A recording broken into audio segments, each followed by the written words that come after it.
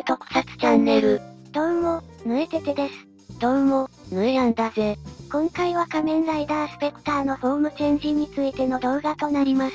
信長以外にもフォームチェンジするのか。さて、そんなスペクターのフォームチェンジは、深見誠がゴーストドライバーとツタンカーメンゴーストアイコンを用いて変身する。海岸ツタンカーメンピラミッドは三角 OK の四角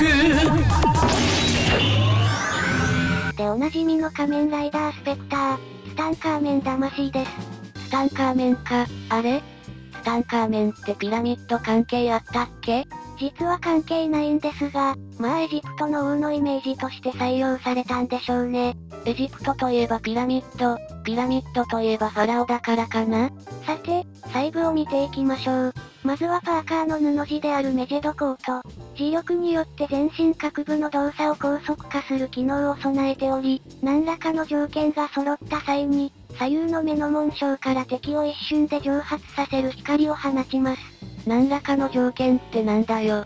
パーカー剣部のエンチェントショルダー。空間の歪みを生み出す機能を備えており、歪んだ空間をガンガンハンドカマモードで切り開くことで、時空の狭間に敵を封印することも可能です。空間を操るタイプの戦士なのか。頭部と胸部に装着された黄金の装甲の、サンアメンライト。表面には特殊粒子がコーティングされており、エネルギー攻撃を吸収することができます。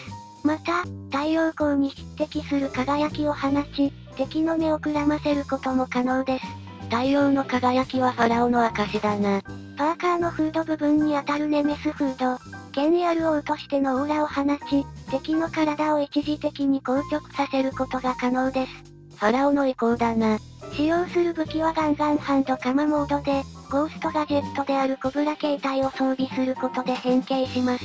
誠もゴーストガジェットを持ってたのか。必殺技はオメガファングで、カマモードで直接切り裂いたり、ピラミッドを召喚して発射したり様々なパターンがあります。ピラミッドの召喚、オジマンディアス。なお、コブラ形態はその名の通り携帯電話なので、普通に通信機として誠は普段から使用しています。タケルの方は黒電話なのに、誠の方は携帯なんだな。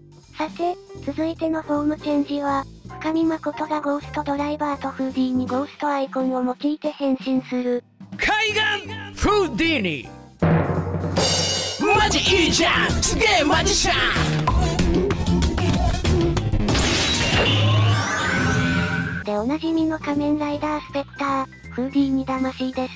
フーディーに、ポケモンの風神の元ネタだっけか。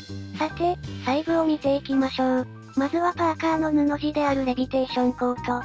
表層を覆う鎖タイプンチェーンと裏地に編み込まれた金属繊維によって、防御力を飛躍的に高めています。金属でガチガチに固めてるぜ。パーカー剣部のバインディングショルダー。全身を覆うように楕円体の防御フィールドを発生させ、内部機能を保護すると同時に空気抵抗を抑える役割を持っています。空気抵抗を抑えるってことは、空を飛べるのかな？はい、飛行ユニットに装着された4機の回転翼、シプルムローター。こちらで高速回転とともに強力なエネルギーの渦を生み出し、縦横無尽に飛び回ることが可能となっています。また、回転翼の表面から円盤状のエネルギーブレードを発生させ、接触した敵を切り裂くことも可能です。通りで背中がでかいと思ったぜ。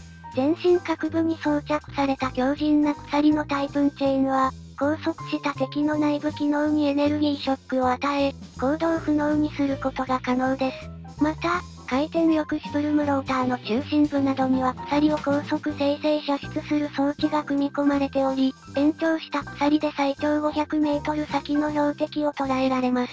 回転翼から追加で鎖を生成できるのか。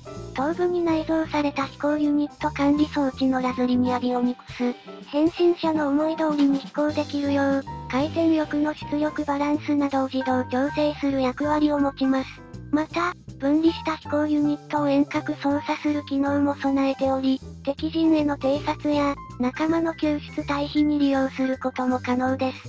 飛行ユニット分離するのか。パーカーのフード部分に当たるサイキックハンターフード。変身者の意識と感覚に作用する特殊な波動を放ち、物事の本質を見抜く力を高めることが可能です。さすがエスパータイプだぜ。必殺技はオメガドライブフーディー2で、鎖を射出して敵を縛り、回転キックを食らわせます。フーディーには武器は使わないんだな。なお背面の飛行ユニットは、誠が登場しているバイク、マシンフーディーが変形したものになっています。誠のバイクを紹介してないなと思ったら、ここで紹介するためだったのか。マシンフーディーも車体に巻きついた鎖を解き放ち、勢いよく振り回すことで敵を攻撃することが可能です。鎖を振り回すバイクって珍しいな。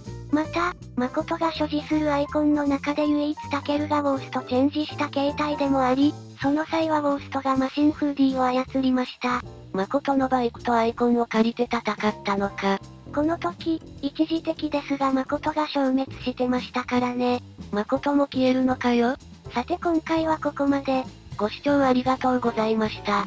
チャンネル登録、高評価、コメントなどよろしくお願いいたします。